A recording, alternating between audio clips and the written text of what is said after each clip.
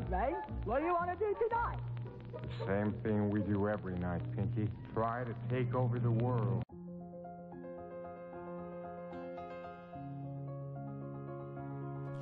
Our difficulties are largely due to confused ideas and ignorance of our true interests. The great task is to discover the laws of nature to which we are to adjust ourselves. Clear thinking and moral insight are therefore of incalculable value.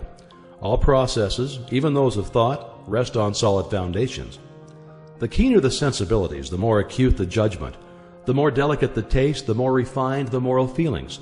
The more subtle the intelligence, the loftier the aspiration the purer and more intense are the gratifications which existence yields.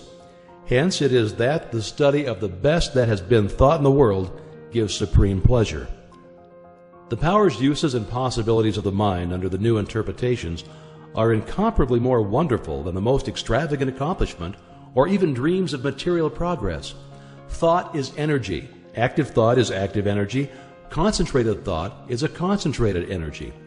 Thought concentrated on a definite purpose becomes power. This is the power which is being used by those who do not believe in the virtue of poverty or the beauty of self denial. They perceive that this is the talk of weaklings. The ability to receive and manifest this power depends upon the ability to recognize the infinite energy ever dwelling in man, constantly creating and recreating his body and mind, and ready at any moment to manifest through him in any needful manner in exact proportion to the recognition of this truth, will be the manifestation in the outer life of the individual. Chapter 2 The operations of the mind are produced by two parallel modes of activity, the one conscious and the other subconscious. Professor Davidson says, quote, He who thinks to illuminate the whole range of mental action by the light of his own consciousness is not unlike the one who should go about to illuminate the universe with a rushlight. End quote. The subconscious logical processes are carried on with a certainty and regularity which would be impossible if there existed the possibility of error. Our mind is so designed that it prepares for us the most important foundations of cognition, whilst we have not the slightest apprehension of the modus operandi. The subconscious soul, like a benevolent stranger, works and makes provisions for our benefit, pouring only the mature fruit into our lap. Thus, ultimate analysis of thought processes shows that the subconscious is the theater of the most important mental phenomena. It is through the subconscious that Shakespeare must have perceived, without effort, great truths which are hidden from the conscious mind of the student. That Phidias fashioned marble and bronze, that Raphael painted Madonnas, and Beethoven composed symphonies.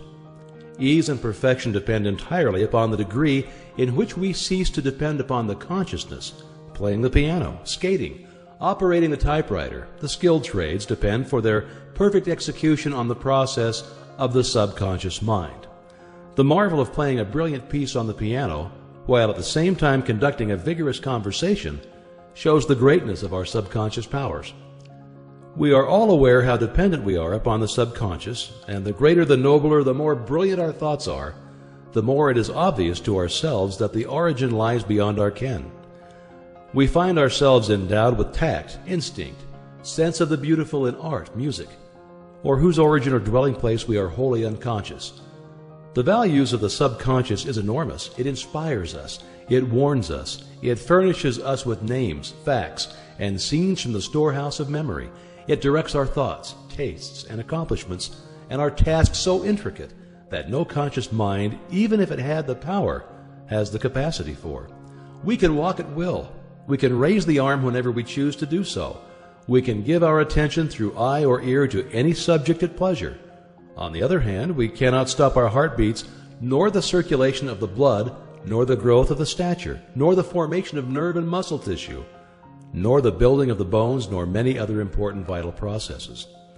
If we compare these two sets of action, the one decreed by the will of the moment and the other proceeding in majestic, rhythmic course, subject to no vacillation, but constant at every moment, we stand in awe of the latter, and we ask to have the mystery explained. We see at once that these are the vital processes of our physical life, and we cannot avoid the inference that these all important functions are designedly withdrawn from the domain of our outward will, with its variations and transitions, and placed under the direction of a permanent and dependable power within us. Of these two powers, the outward and changeable has been termed the conscious mind or the objective mind, dealing with outward objects. The interior power is called the subconscious mind or the subjective mind, and besides its work on the mental plane, it controls the regular functions which make physical life possible. It is necessary to have a clear understanding of their respective functions on the mental plane, as well as of certain other basic principles. Perceiving and operating through the five physical senses, the conscious mind deals with the impressions and objects of the outward life. It has the faculty of discrimination, carrying with it the responsibility of choice. It has the power of reasoning, whether inductive, deductive, analytical, or syllogistic, and this power may be developed to a high degree. It is the seat of the will with all the energies that flow therefrom. Not only can it impress other minds, but it can direct the subconscious mind. In this way, the conscious mind becomes the responsible ruler and guardian of the subconscious mind. It is this high function which can completely reverse conditions in your life. It is often true that conditions of fear, worry, poverty, disease, inharmony, and evils of all kinds dominate us by reason of false suggestions accepted by the unguarded subconscious mind.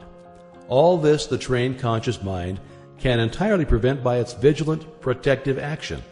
It may properly be called the watchman at the gate of the great subconscious domain. One writer has expressed the chief distinction between the two phases of mind thus quote, Conscious mind is reasoning will, subconscious mind is instinctive desire, the result of past reasoning will. The subconscious mind draws just and accurate inferences from premises furnished from outside sources. Where the premise is true, the subconscious mind reaches a faultless conclusion. But where the premise or suggestion is an error, the whole structure falls. The subconscious mind does not engage in the process of proving. It relies upon the conscious mind, the watchman at the gate, to guard it from the mistaken impressions. Receiving any suggestion as true the subconscious mind at once proceeds to act thereon in the whole domain of its tremendous field of work.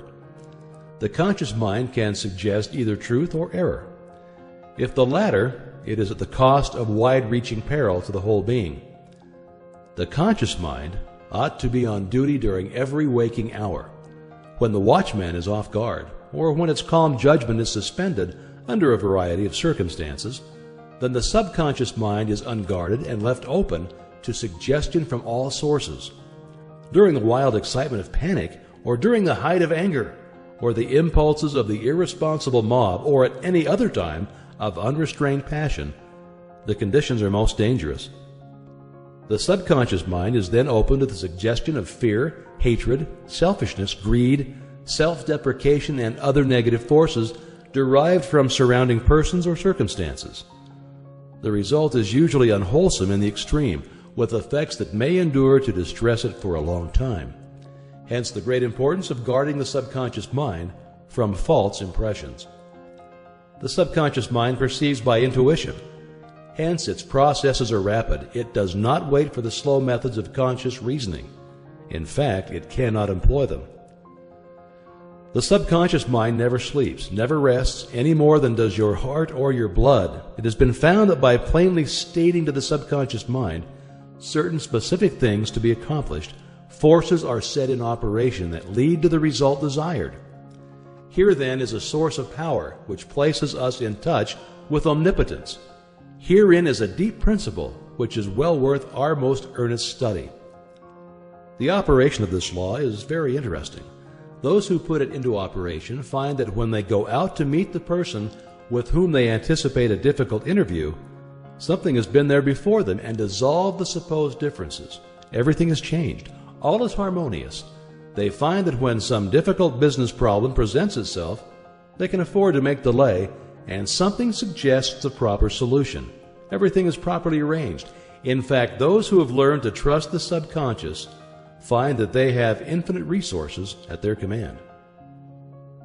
The subconscious mind is the seat of our principles and our aspirations.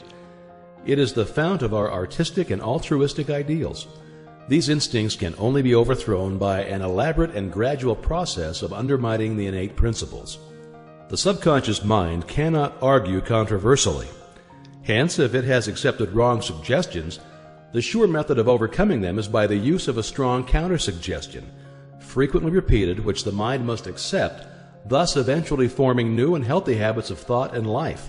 For the subconscious mind is the seat of habit. That which we do over and over becomes mechanical. It is no longer an act of judgment, but has worn its deep grooves into the subconscious mind. This is favorable for us if the habit be wholesome and right. If it be harmful and wrong, the remedy is to recognize the omnipotence of the subconscious mind and suggest present actual freedom. The subconscious, being creative and one with our divine source, will at once create the freedom suggested. To sum up, the normal functions of the subconscious on the physical side have to do with the regular and vital processes, with the preservation of life and the restoration of health, with the care of offspring, which includes an instinctive desire to preserve all life and improve the conditions generally. On the mental side, it's the storehouse of memory. It harbors the wonderful thought messengers who work unhampered by time or space. It is the fountain of the practical initiative and constructive forces of life. It is the seat of habit. On the spiritual side, it is the source of ideals of aspiration, of the imagination, and is the channel through which we recognize our divine source. And in proportion as we recognize this divinity, do we come into an understanding of the source of power. Someone may ask, how can the subconscious change conditions?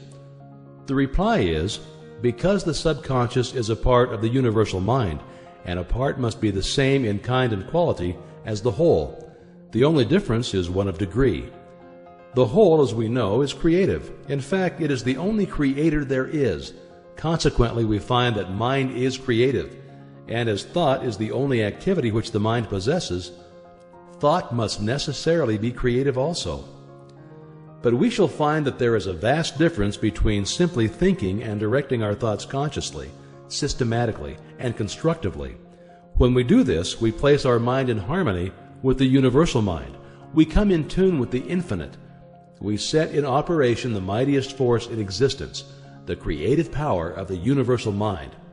This, as in everything else, is governed by natural law and this law is the law of attraction, which is that mind is creative and will automatically correlate with its object and bring it into manifestation. Now, last time I gave you an exercise for the purpose of securing control of the physical body. If you've accomplished this, you are ready to advance. This time, you'll begin to control your thought. Always take the same room, the same chair, and the same position, if possible.